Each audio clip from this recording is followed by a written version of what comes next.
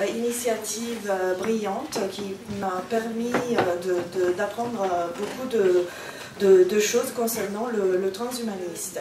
une, petite présentation juste pour vous mm, dire quelle est ma perspective de, travail. Moi, je suis philosophe et juriste et je travaille à l'université de, de, Nice en tant que maître de conférence. Donc dans cette euh, intervention, je souhaiterais poser la question de la dignité de l'homme. Euh, c'est une question qui a commencé à émerger euh, hier dans, l'après-midi et je me pose donc la question de la dignité de l'homme post-humanisme, post-humanisme, pardon, post-humaniste, c'est-à-dire de cet homme qui a une autre nature car il est augmenté par les dispositifs techniques et technologies. Euh, tout d'abord, il ne sera absolument pas simple de définir une notion stable de dignité. Et c'est euh, pour cette raison que je me suis attachée à l'humanisme italien du Quattrocento pour montrer en quoi la philosophie de Pic de la Mirandole euh, est utile pour comprendre la dignité. Nous verrons en quoi cette dignité consiste-t-elle et s'articule. Dans un deuxième temps, je chercherai à mettre en vibration cette notion de dignité avec le transhumanisme qui, euh, d'une part, semble incarner à la perfection les idées euh, humanistes de la Mirandole, mais qui, d'autre part, finit par entrer en conflit avec un autre humanisme beaucoup plus tardif, d'inspiration euh, kantienne, euh, qui se rattache à la réflexion sur les droits de l'homme, et bien plus récemment à la notion de vulnérabilité. Il est, euh, donc, pour commencer, je, souhaiterais reprendre un peu ce que Francesco Adorno a dit il y a quelque temps sur ce changement du paradigme du pouvoir. Et donc sa relation avec la technique il est un constat assez évident que non seulement la technique et la technologie se sont répandues de façon exponentielle pendant ces dernières décennies, mais aussi que si la technologie reste encore un produit humain, la technique, au sens le plus large et sociopolitique, a fini par devenir autonome grâce à des dispositifs sociotechniques qui deviennent de plus en plus autonomes et hors du contrôle de l'individu. Ce phénomène, qui a été décrit euh, sous des tons tragiques par euh, un certain nombre d'auteurs, n'est que la conséquence de l'introduction de dispositifs dans la gestion du biopouvoir, comme cela a été très bien euh, analysé par Michel Foucault. À partir du XVIIIe siècle, les structures du pouvoir ont changé en déplaçant le centre d'intérêt et d'action du pouvoir sur les stratégies de masse pour confiner et éradiquer les épidémies, considérées comme des fléaux de masse capables de décimer la population. Du droit de vie et de mort du souverain sur les individus, on est alors passé à des structures de pouvoir qui contrôlent la vie des individus et qui, à partir du siècle dernier, pensent à comment gérer la force vitale des individus dans toutes leurs manifestations qui vont de l'intégrité du corps au vieillissement, à la vulnérabilité de l'homme à travers l'élaboration de dispositifs d'accompagnement, mais aussi avec la question de l'éthique du care, qui a été développée aux États-Unis, qui justement n'est pas une technique, puisque elle euh, insiste notamment sur l'individualisation des soins. Euh, je voudrais euh, maintenant euh, faire une, analyser la relation qui émerge entre la technique et le pouvoir lui-même, parce que ces deux ont plus qu'un point en commun. Tout d'abord, la volonté de puissance. La technique et le pouvoir visent une volonté, une volonté de faire, mais surtout une volonté d'être, une volonté de puissance. Deuxièmement, la maîtrise sur l'environnement ou sur les autres semblables. Euh, troisièmement, la procédure rationalisante et calculatrice. Quatrième, la manipulation des techniques et des matériaux divers. euh, ces rapports de mutuelle convenance qui servent bien l'une et l'autre se trouvent aujourd'hui assez compromis quant à son équilibre supposé. Des instances techniques financières internationales ont aujourd'hui plus de pouvoir que chaque Parlement national. L'autonomisation de la technique semble avoir réduit l'homme à un pion politique, à un consommateur, en lui reconnaissant de moins en moins un rôle de décideur. De plus, les techniques de communication, les dispositifs des nouvelles technologies de communication, tous les nouveaux dispositifs en général ont aggravé le clivage entre générations, tout aussi bien qu'entre riches et pauvres. Euh, ce changement de paradigme politique a effectivement affecté la société dans sa composante essentielle, qui est celle de euh, l'individu. Apparemment au centre de toute attention, au point de euh, considérer non sans contradiction notre société comme à la fois essentiellement individualiste et de masse. Alors, qu'est-ce que le transhumanisme et l'humanisme ont donc en commun?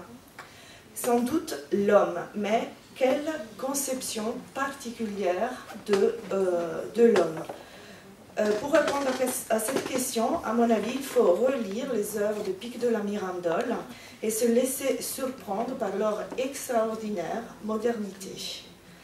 On dirait que euh, le transhumanisme semble avoir fait du manifeste humaniste du Quattrocento italien un dictat absolu qui permet de transformer le dicton de Pic de la Mirandole Homo faber ipsius fortune en Homo faber ipsius vitae. Donc euh, on contrôle la vie. Euh, mais si à l'humanisme qui précède et anticipe la Renaissance, l'homme cultive d'abord sa dimension psychique et culturelle par le biais de la philosophie. En revanche, au XXIe siècle, il essaie d'agir en véritable maître de la nature, comme euh, l'avait déjà euh, euh, préconisé Descartes lorsqu'il dit justement que l'homme doit agir comme. Mais ce comme, justement, a une importance parce qu'il laisse quand même Descartes une place au Dieu créateur. D'ailleurs, il n'en avait pas le choix de dire autrement. Donc pour Pic de la Mirandole, la dignité humaine est centrale et fondamentale pour l'étude concernant l'homme, parce que l'homme est un miracle. Euh, la raison en est que de toutes les créatures qui ont une nature déterminée et limitée à ce qu'elles sont, l'homme peut se forger lui-même en se donnant la forme qu'il souhaite. Euh, en effet, le progrès biotechnologique contemporain, à travers le large système de prothèses, substituts moléculaires, cellules souches, dispositifs d'augmentation virtuelle de la perception, euh, ce système amplifie les finalités originaires de l'humanisme et y rajoute la technique et la machination. Euh, néanmoins, à l'élévation spirituelle, l'homme post-humaniste semble préférer l'immortalité du corps, la longévité maximale, la meilleure qualité de la vie matérielle. Donc, euh, qu'est-ce que la dignité? Est-ce que la, dignité est liée à la liberté ou à la volonté? Est-ce que euh, la dignité est l'exercice particulier de toutes ces libertés? Je, vous assure, dès qu'on parle de dignité, je sens toujours les, dos qui s'écrispent parce qu'on a toujours peur que quelqu'un nous fasse la, morale, qu'on revient au religieux, mais je vous assure qu'il n'y a pas de catéchisme. Je vais, pas, euh, je vais justement insister sur le fait que cette notion de dignité doit rester libre de toute religion et même de toute idéologie. Si le mot dignité vous dérange, pensez à toutes les fois que vous vous indignez. Et surtout, quelles sont les raisons pour lesquelles euh, nous nous indignons et qui nous font affirmer qu'il y a eu un manque de dignité ou euh, une violation de dignité. il y a une continuité entre l'humanisme et le transhumanisme. Pic de la Mirandole justement parle de l'homme comme un phénomène miraculeux euh, pour la raison que euh, de toutes les natures, euh, l'homme peut choisir ce qu'il devient, c'est-à-dire que la nature de l'homme n'est pas déterminée. et que donc il est intermédiaire entre les créatures inférieures et supérieures, mais c'est lui qui décide ce qu'il veut devenir. Pascal dira plus tard, ni ange ni bête. Donc, euh, euh, ce qui est intéressant, c'est justement le fait que dans l'humanisme de Pic de la Mirandole, il y a très peu d'humanisme. C'est en fait l'absence d'humanisme. On fait ce qu'on veut, on se invente comme on le, euh, on le souhaite. je, crois que vous avez, je, la passe, la citation hier qui a été déjà présentée, mais j'attire votre attention sur seulement cette question lorsque euh, euh, justement on parle de, l'homme, dit la nature enferme d'autres espèces en des lois par moi établies chez le Créateur, mais toi que ne limite aucune borne par ton propre arbitre, et ça c'est fondamental, c'est l'arbitre au sens de la volonté, pas le sens du libre arbitre comme un choix religieux. Euh, euh, entre les mains duquel j'étais placé, tu te définis toi-même. Euh, je mis au milieu du monde afin que tu puisses mieux contempler autour de toi ce que le monde contient. Je ne t'ai fait ni céleste, ni terrestre, ni mortel, ni immortel. Donc on voit très bien la ligne de continuité entre l'humanisme et le transhumanisme. le, donc l'homme peut se transformer grâce à la volonté, donc il est nécessaire d'avoir une connaissance. Si l'homme ne se connaît pas, s'il n'y a pas de la recherche, l'homme ne peut pas euh, arriver à se forger parce qu'il n'a pas le choix. C'est la science morale et la philosophie pour Pic de la Mirandole et la science, la biotechnologie pour le euh, transhumanisme. Euh, or, ce qui euh, me pose un, problème, c'est que cette notion du, euh, d'humanisme comme capable de se auto-former n'est pas toujours le même. C'est-à-dire que la notion de dignité est à géométrie variable selon l'époque et selon la société dans laquelle on vit. En effet, si on pense à la même question abordée par Kant, on sait très bien que les choses vont différemment. Euh, c'est l'humanisme de Kant qui donne naissance au droit de l'homme, sur lequel on va revenir puisque l'objet de ce colloque est la question sociale. Donc il faut la garantir, cette question sociale. Il faut quand même un cadre juridique qui nous permette de dire ce qui est légitime ou pas. Et donc, euh, euh, la notion de dignité au XVIIIe est investie d'un sens nouveau et d'une acception nouvelle. Pour Kant, la dignité est intimement liée à la raison et accordée universellement à tous les hommes. Elle est euh, associée à la volonté, mais au sens qu'il faut que l'homme sache en quoi consiste la capacité d'agir moralement et en particulier, comme vous le savez très bien, ne pas utiliser autrui comme un moyen, mais toujours comme un fin, une fin pardon, en soi.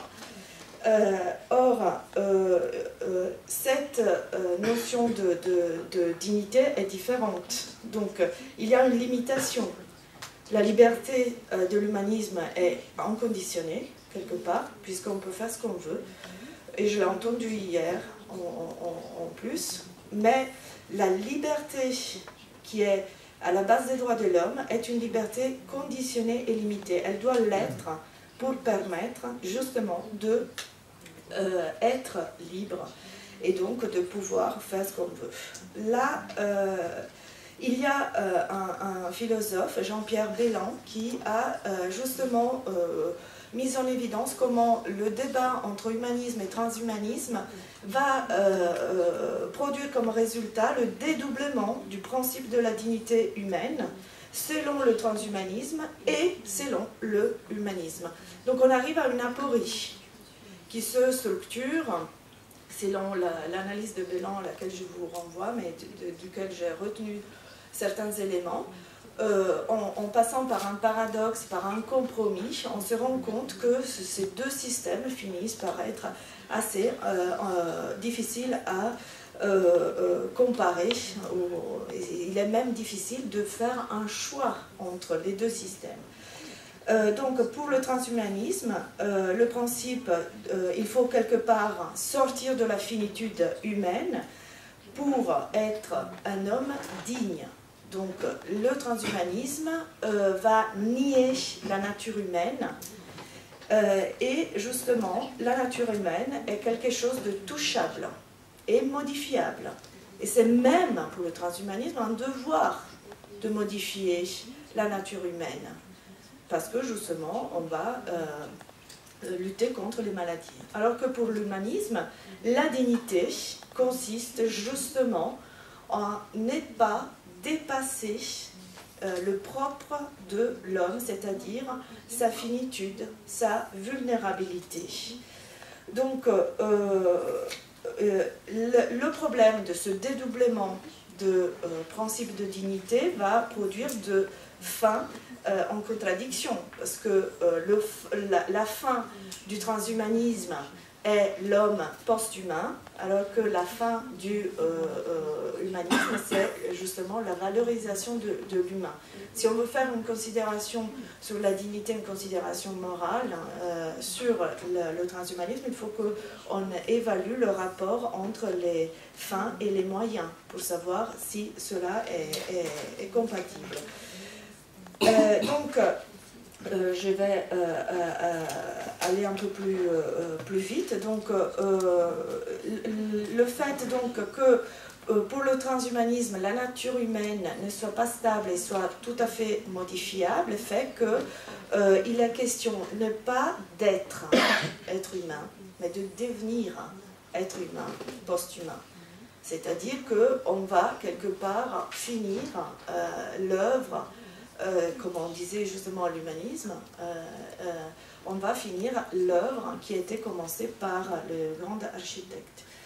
Euh, le principe de la dignité de l'être humain, selon l'humanisme, euh, fait justement euh, de l'homme toujours une fin en soi.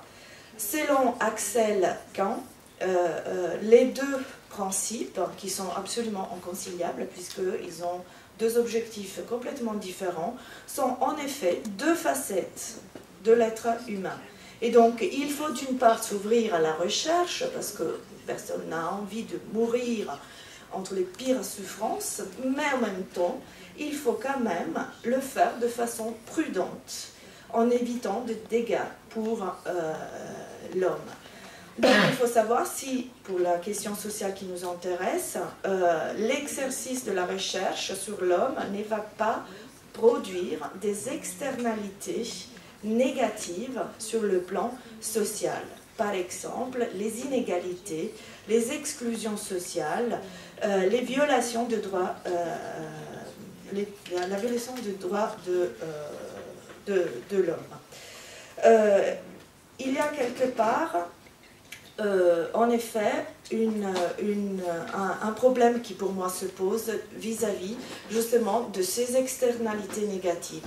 Hier, Madame Vitamor, si je ne m'abuse pas, a dit que, quelque part que, euh, en fait, pour elle, ce n'était pas forcément une question de human rights, mais c'était une question tout simplement de faire des choses, de s'occuper, de rendre les soins qu'on a reçus et donc quelque part elle évacuait de façon absolument automatique toute la question justement des conséquences sociales parce que c'est vrai on fait des choses euh, avec la technologie, avec la biotechnologie. Je suis personnellement redevable, mon père est un pacemaker, donc je suis très reconnaissante vis-à-vis de la technologie, mais on voit très bien que cette technologie va et la technique vont produire de plus en plus de euh, d'inégalités, comme l'a très bien euh, montré David Wood. Euh, alors, pour moi, il y a deux questions qui vont se, poser. La première concerne le rapport essentiel entre la technique et l'homme.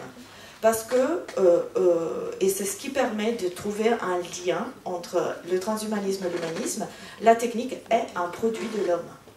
Et la technique est constitutive de la nature humaine. C'est la technique qui a permis à l'homme de s'adapter et de s'améliorer et donc de, survivre. Ça, c'est tout à fait euh, évident. Euh, euh, et il ne faut pas oublier, parce que je l'ai dit tout à l'heure, que en tout cas, la technique est toujours un pouvoir, un pouvoir de maîtrise. La technique, les dispositifs techniques ne sont jamais neutres ils incarnent, ils condensent comme un précipitat chimique toutes les, connaissances, mais aussi toutes les valeurs qui ont été choisies pour cette technologie.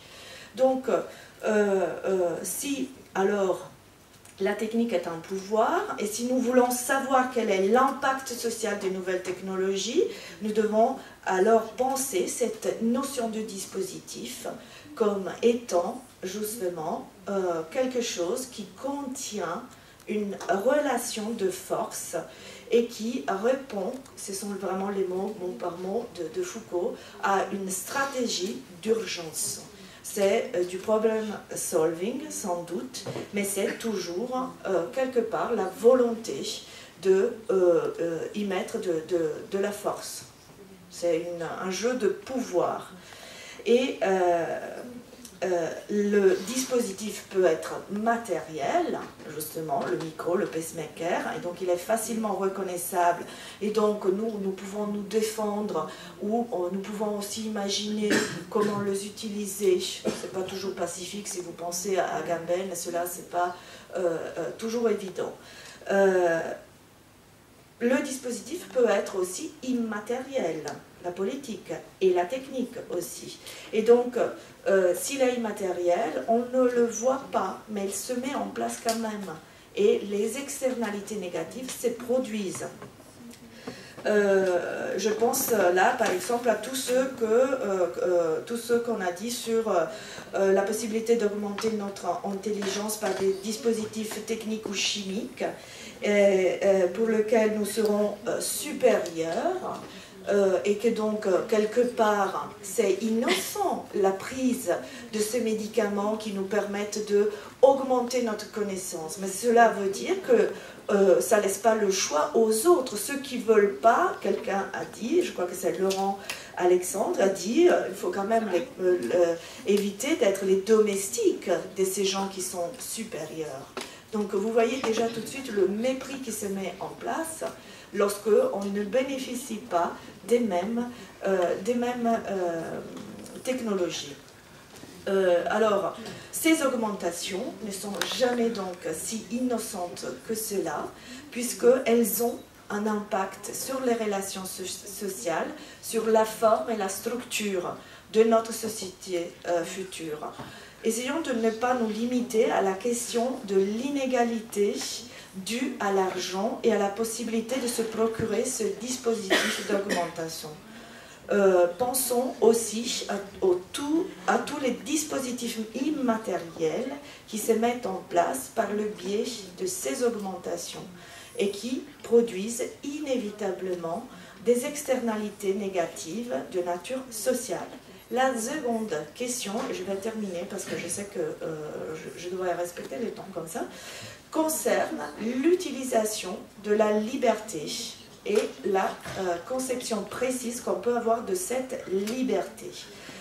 Euh, en effet, une liberté débridée, orientée exclusivement à une finalité concrète, comme l'a dit Vitamor hier, risque de mettre en danger tout le château des droits de l'homme. Car euh, cette liberté euh, débridée produit des résultats sociaux qui sont difficilement acceptables en termes d'égalité des droits. L'externalité négative sociale résultante d'une utilisation inconditionnée de la liberté va remettre en cause l'égalité affirmée, non sans peine, par les déclarations des droits de l'homme de n'importe quelle époque. Hein. En effet, cette liberté inconditionnée du transhumanisme, qui va considérer la nature humaine comme touchable et modifiable, affaiblit l'égalité des droits de l'homme qui repose en revanche sur une utilisation conditionnée et limitée de cette liberté. Lorsque les philosophes politiques s'interrogent sur la nature humaine avant l'institution de la société, euh, ils ont inventé l'état de nature. Dans cette fiction idéale et sans aucune concrétisation dans l'histoire euh, euh, humaine, ils ont imaginé des prérogatives appartenant spécifiquement à la nature humaine pour pouvoir les protéger sous la forme du droit. Euh, je vous épargne toute la question sur le droit naturel, mais j'attire votre attention sur le fait que Hobbes, Locke et Rousseau, qui sont aussi des personnages de la série télé Lost, ont parlé de la liberté et de l'intégrité du corps comme les valeurs naturelles de l'homme. De là naît toute la question du contractualisme et l'institution même de la société. Les hommes sont prêts à renoncer partiellement à leur liberté, à leur intégrité du corps pour pouvoir les voir mieux protégé et renforcé par la présence d'un pouvoir tiers et euh, extérieur. Donc, euh, quels sont les droits, et c'est la question que je vous pose, de l'homme pour l'homme augmenté euh, Faut-il croire que le transhumanisme va remettre en cause le fondement ontologique des droits de l'homme, puisqu'il brise ce rapport fondateur avec le droit naturel fondateur donc de tous les droits de l'homme. Inutile de faire des différences entre les droits de l'homme africains, les droits de l'homme asiatique. C'est les droits de l'homme en tant qu'espèce, en tant que genre humain qui est justement, c'est la question que je vous donne. Pourquoi j'insiste sur les droits de l'homme? Parce que les droits de l'homme, euh, euh, quand on respecte les droits de l'homme, on est une société libre et démocratique. On le sait très bien, je ne fais pas des, noms précis, de pays qui sont en violation de ce droit de l'homme. On se pose la question sociale, des relations entre les individus. Il faut donc aussi penser si ces droits de l'homme sont respectés ou, euh, ou pas. je vous remercie.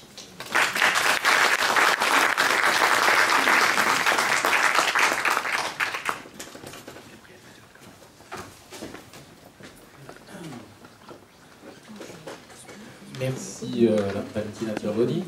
Euh, il y a des mains qui sont levées, qui se sont baissées. Ah, elles se relèvent. Voilà. Euh, Gabriel Dort. Yeah. Merci euh, ça, va être intéressant pour, pour la suite. J'aurais juste deux questions assez, assez précises, assez, Une entre, entre collègues qui travaillent sur ces questions. Je pas, ça n'a pas été clair pour moi. Quelles sont les, les, les parties ou quelles parties du corpus transhumaniste ou posthumaniste ou whatever que vous mobilisez, euh, puisque vous, si, si j'ai bien écouté, vous n'avez pas entendu citer un seul auteur ouais. transhumaniste. Ouais. Euh, donc j'aurais voulu savoir un peu quelle était le, le, la cuisine derrière l'appareil critique, comme on dit. Ouais. Et puis mon autre question, c'est sur l'usage qui m'a un peu surpris d'externalité négative. Alors là, je ne suis pas du tout connaisseur, mais il me semblait avoir compris que ce, ce mot-là était un mot extrêmement contesté dans certaines parties des sciences humaines, comme étant précisément une réduction à économiciste de choses qui précisément devraient, pour reprendre vos termes à vous, avoir une dignité supérieure, telle que l'environnement. Euh, il semblait avoir compris que externalité négative, c'était la manière dont les économistes classiques, euh, anthropocentrés, etc., avaient trouvé pour, au fond, régler le problème de la corruption, des droits de ah, l'homme, de la torture. D'accord. Alors, euh, le mot externalité a une origine économique, mais c'est en fait la conséquence systémique, c'est-à-dire tout ce que un système, un dispositif met en place en termes de conséquences. Il peut y avoir des conséquences positives, euh, une, croissance des conditions euh, de, bien-être, ce que vous voulez, et des conséquences négatives, mais systémiques quand même. Donc ce n'est pas, euh, ce sont des, conséquences pas strictement mesurables justement. Hein. Le mot externalité, c'est que ce type de, conséquences négatives pour ce qui, m'intéresse, j'ai dû quand même abréger aussi un certain nombre de choses, euh, euh, euh, sont produites par le système mais qui ne sont pas mesurables. C'est ce côté qui échappe à la mesure qui m'intéresse justement. On ne peut pas mesurer aujourd'hui. Toutes les conséquences sociales. Quant au corpus, je me suis vraiment tenue au propos général du transhumanisme euh, sur la recherche de, plutôt que sur les objectifs euh, euh, finaux, j'ai pensé plutôt à l'utilisation de la technique et de la technologie en particulier. Donc c'est sur, ce, sur cette utilisation que je me suis posé les questions. Je sais très bien que le transhumanisme est pluriel, je sais très bien qu'il y a, il y a plusieurs, euh, euh, plusieurs euh, formes. moi, c'est l'utilisation de la technique, parce que la technique est pouvoir, d'emblée. Les auteurs, je sais pas, c'est... oui, si vous voulez, après, je, je peux vous, vous donner la, la, liste avec plaisir. On a une question de Mme Vitamor en haut. Est-ce que tu as besoin d'une... ça dépend si ça se parle doucement. Non, voilà. Ah. Oui. Oui. Miss Vitamor, if you could speak slowly, please. Juste une seconde. Merci beaucoup. Ah, it's Miss uh, Ma'am, I much what you said. The interpreter in uh, language. Yes, can you hear me?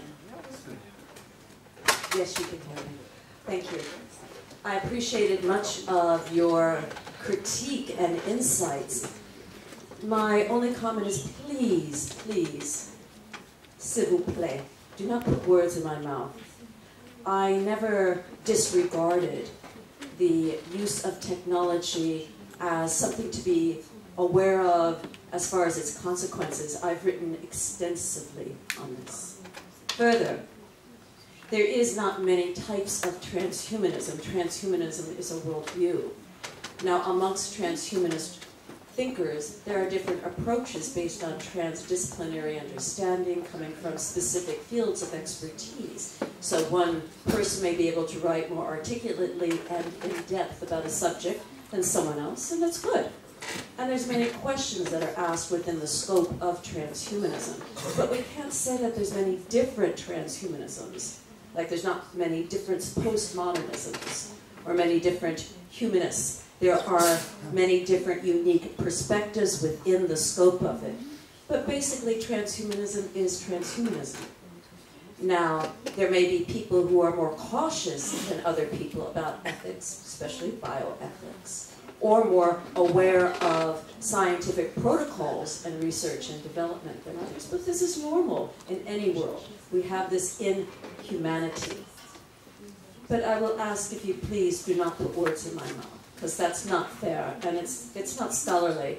And to disregard that within the scope of your scholarly insights, I have to give it some awareness. I suggest that you read more information about the ethics of biotechnology amongst transhumanists and the work that we've done I welcome you to read my book, The Transhumanist Reader, which has 42 authors who are experts in their field and unravel many of the questions that you addressed, the politicization of technology. And then, of course, there's the Institute of Ethics and Emerging Technologies and many other groups that really ponder these issues deeply and sincerely. Thank you.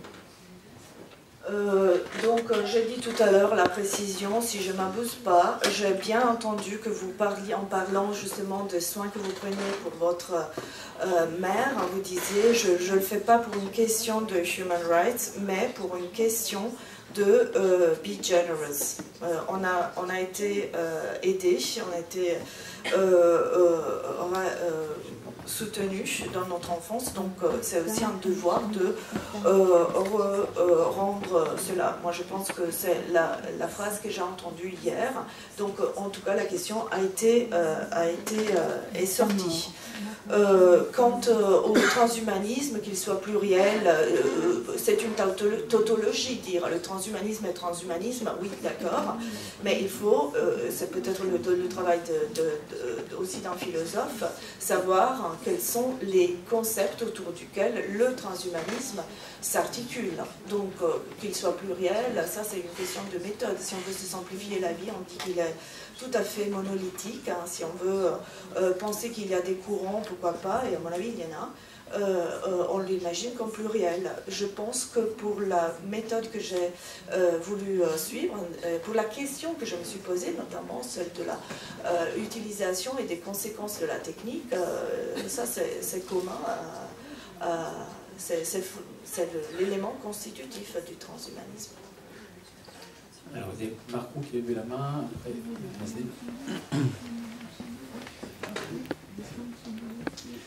Euh, bon, pas exactement une question, une remarque, mais parce qu'il me semble justement de ce dont vous venez de parler, à savoir les, concepts euh, centraux euh, autour desquels peuvent se reconnaître les, transhumanismes. Il y en a un que vous avez cité et qui me semble relever de l'erreur ou de, la mécompréhension, de passer à côté de quelque chose. Euh, et c'est quelque chose qui revient très souvent dans la critique générale qui peut être portée euh, sur le transhumanisme. C'est cette idée euh, que le transhumanisme souhaiterait sortir de la finitude de l'humain. Je pense que c'est vraiment une erreur d'interprétation complète. évidemment, vous réagissez, je comprends très facilement, à des termes comme immortalité, des expressions euh, comme euh, abolition de la souffrance euh, ou au rêve, enfin, une expression un peu fantasmatique d'un corps pouvant se déployer de manière infinie. Je pense que vous, vous, enfin je dis vous, je ne m'adresse pas qu'à vous en disant cela, c'est évident. quand on, interprète les choses comme ça, on, on est victime souvent de slogans on est victime de formules, on est victime de raccourcis, euh, qui sont utilisés, c'est un fait, euh, par un bon nombre de transhumanistes, de notamment euh, certains des, plus, de ceux qui sont le plus mis en avant, des plus célèbres, mais qui, je crains, enfin, oui, personnellement, je le crains un peu, l'utilisent, le, le, font à des fins stratégiques, si vous voulez. Quand on, lit un peu plus dans les détails, quand on échange de manière directe ou à force euh, de, se confronter à, ces réflexions, il me semble qu'on comprend rapidement euh, que en fait, euh, ce ne sont pas des personnes qui sont, comment dire, dans la métaphysique ni dans le spirituel. Parce que dire immortel, c'est utiliser un terme de métaphysique. ou parler d'infini, infini, infini, c'est à mon sens être complètement dans la métaphysique. Euh, or, il me semble que euh, la très très grande majorité euh, des transhumanistes, pas tous, mais la grande majorité, se réclament plutôt d'une philosophie matérialiste. Alors, si vous nous dites que, eh bien, il se propose de sortir de la finitude, eh bien, c'est qu'ils sont en, me semble-t-il, vous me ce que vous en pensez, mais il me semble qu'ils sont en complète contradiction avec eux-mêmes, avec leurs prétentions de rigueur scientifique, euh, etc. Euh, il me semble qu'il est absolument aberrant, absurde, euh, d'imaginer donc l'immortalité absolue si l'on considère que, par exemple, la conscience, l'émergence d'une conscience a besoin d'un substrat physique quelconque. parce que à court terme, même si nous, par exemple, nous euh, vainquons dans quelques décennies ou siècles, que sais-je, euh, le vieillissement, la maladie, etc., comme on le répète régulièrement, ça n'empêche pas de se faire écraser euh, par un bus en sortant de chez soi. Euh, mais même si vous vivez un million d'années, ça n'empêche pas non plus euh, que votre planète euh, rencontre malheureusement un géocroiseur ou que votre système solaire finisse par disparaître dans un trou noir. parce que l'infini, c'est long, hein, surtout sur la fin, il faut, prévoir, il faut vraiment anticiper. donc, parler d'immortalité absolue, je pense que pour n'importe quel transhumaniste qui comment dire, du point de vue qui se réclame de matérialisme philosophique, c'est juste absurde.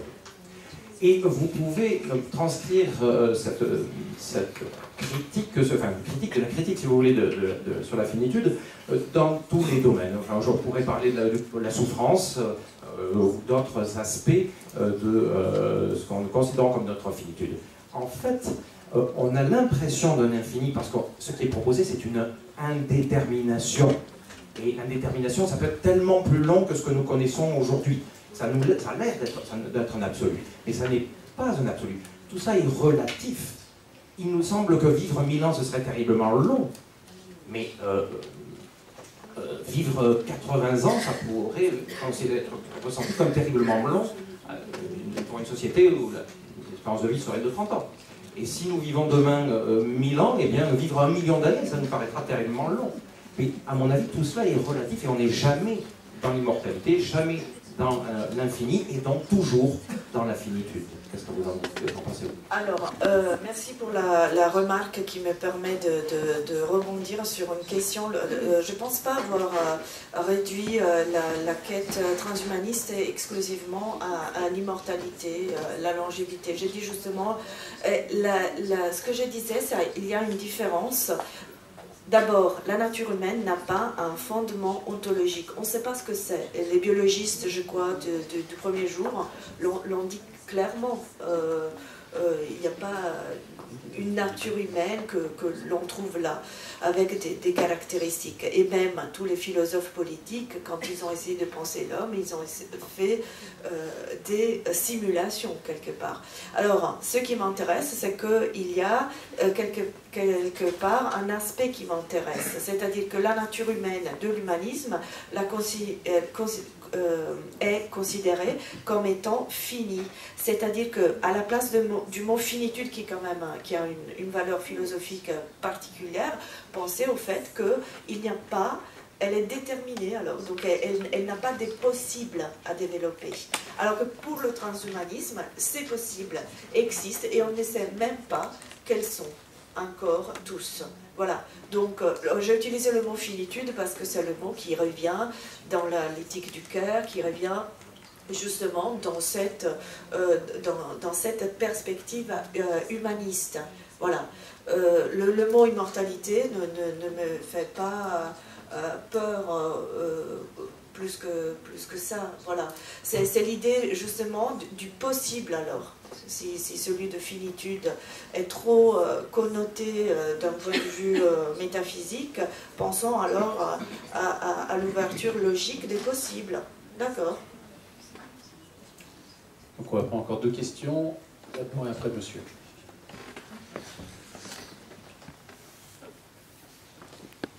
Bonjour, alors je vais me poser avec, avec de l'ingénuité, n'étant pas philosophe ni même très qualifié dans ce domaine. Mais vous avez parlé de, dignité qui se trouverait dans la vulnérabilité, dans la fragilité, dans l'aspect éphémère de la vie humaine. Et vous avez décrit la technique et la technique transhumaniste comme une transgression. Le transhumanisme pourrait être en quelque sorte bah, oui, non, vous n'avez pas employé transgression, mais c'est l'interprétation que j'en fais. Si je peux terminer ma question, euh, comme donc un, dépassement de cette nature finie et donc quelque part euh, la sortie de l'humanisme euh, par le haut. Est-ce que c'est une vision qui s'oppose de ce fait à un progrès tel que le bien-être, le bonheur et la vie de bonne qualité se prolongeraient indéfiniment? Ou est-ce que c'est euh, une forme de conservatisme qui voudrait que euh, pour rester humain, nous restions vulnérables?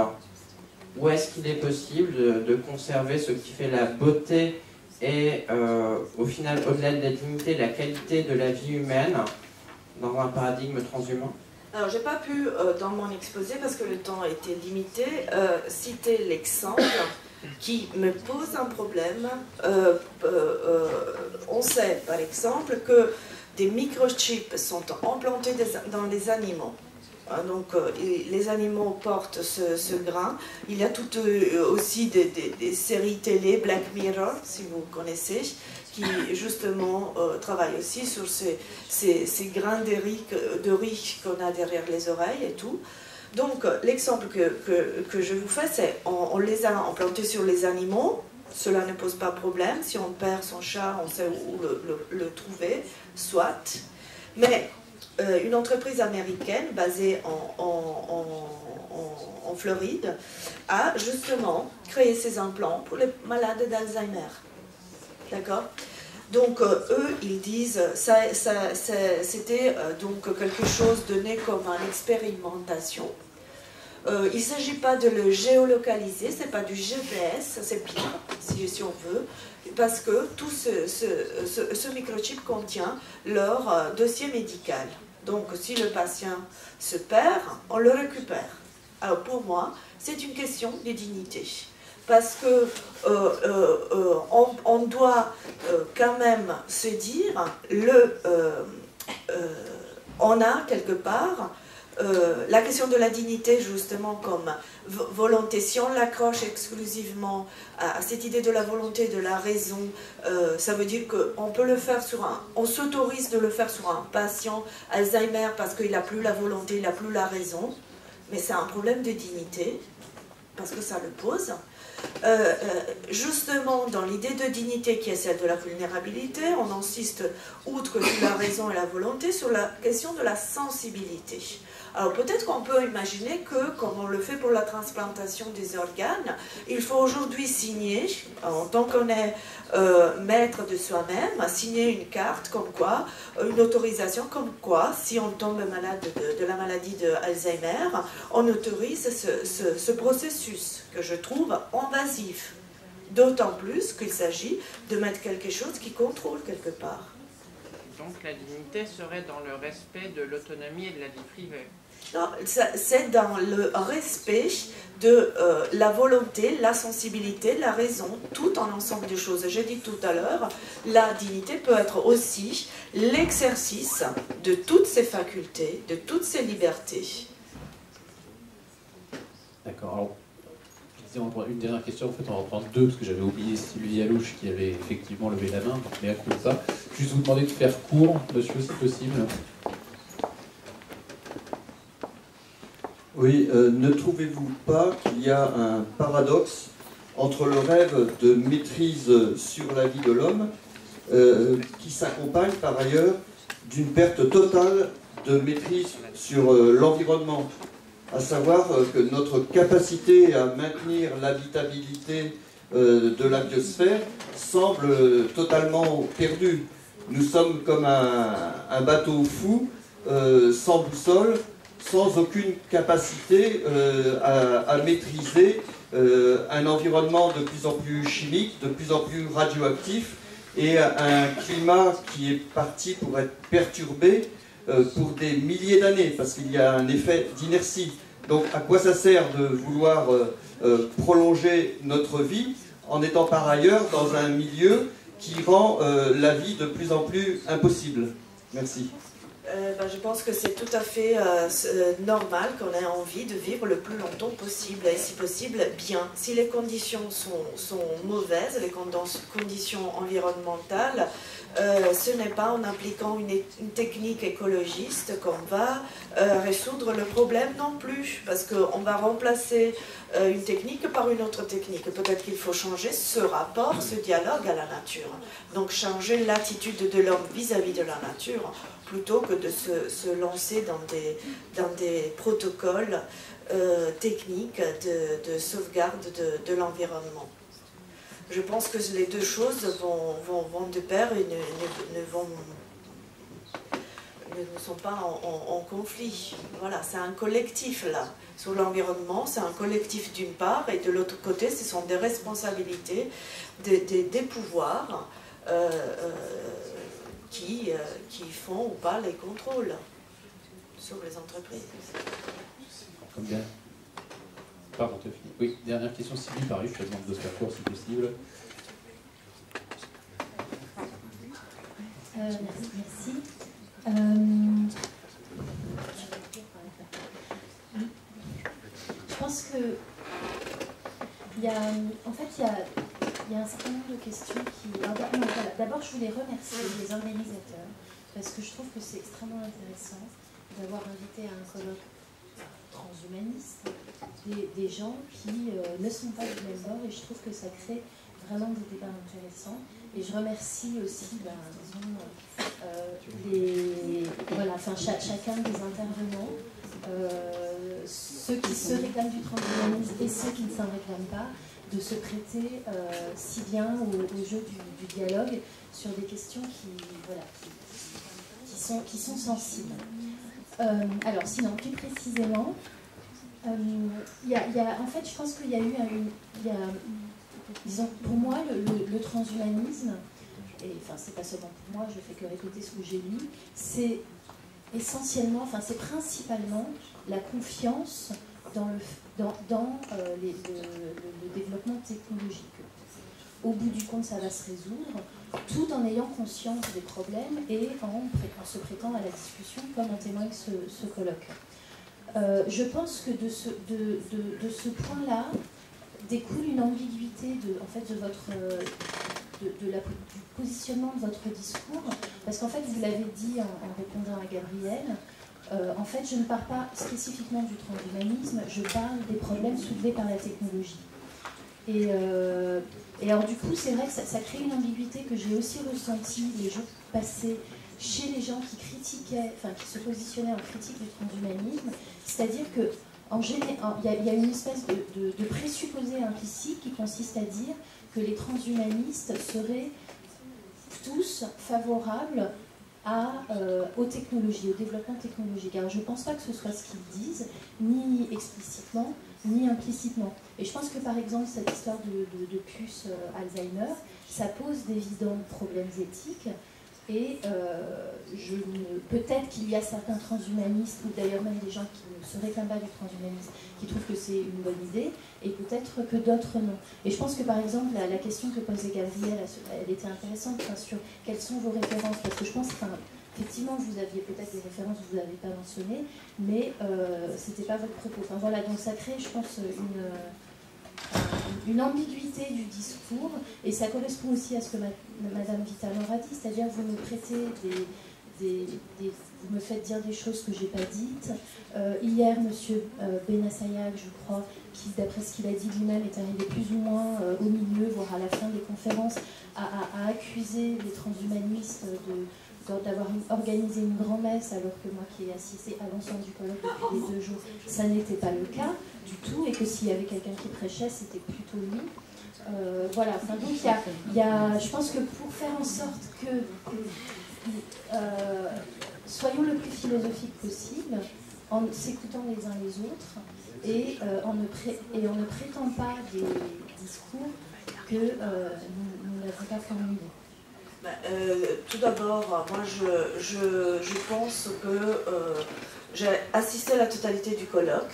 Donc euh, euh, je, ne, suis pas là pour critiquer justement, parce que je dis bien qu'il y a un point de contact entre euh, l'humanisme et le transhumanisme, et ce point de contact passe par la technique. Je ne suis pas d'accord avec vous lorsque vous dites que la technique n'est pas essentielle au transhumanisme. Ça me semble vraiment impossible à soutenir cette affirmation parce que la technique et la technologie sont absolument euh, euh, centrales, les deux, dans, dans le mouvement transhumaniste. Euh, donc, euh, je ne pense pas être là à critiquer, je ne défends pas une religion, je ne défends pas une, école de, pensée en, en, particulier, je mets en vibration, et je l'ai dit, des notions de dignité, euh, sur la base de ce que j'ai écouté. Et donc, comme j'ai assisté à la totalité du colloque, je ne suis pas là pour critiquer ou pour casser les œufs dans le panier. C'était vraiment pas mon intention. Je ne comprends pas d'ailleurs votre agressivité, ou en tout cas au sens de, dire, voilà, vous, vous, vous, parlez, mais en fait vous dites un peu n'importe quoi parce que les choses ne sont, sont, sont, pas complètement euh, dans, dans, ce, dans ce terme. Moi je ne pense pas avoir eu euh, cette, cette attitude vis-à-vis -vis du problème qui pour moi reste un problème parce que lorsque on, va se poser la question sociale, euh, c'est-à-dire l'impact du transhumanisme sur la, la, question sociale, il faut, euh, à mon avis, voir, euh, c'est ma perspective de, de recherche, hein, je ne peux pas dire qu'elle est absolue. Pour moi, c'est important de voir un peu comment euh, ces questions sont, sont, peuvent naître de l'utilisation de la technique. On t'entend pas, euh, Est-ce que ça vous dérange pas de, de continuer à en discuter après? Euh, Parce que nous allons devoir laisser la place à ce On remercie Valentine d'intervenir.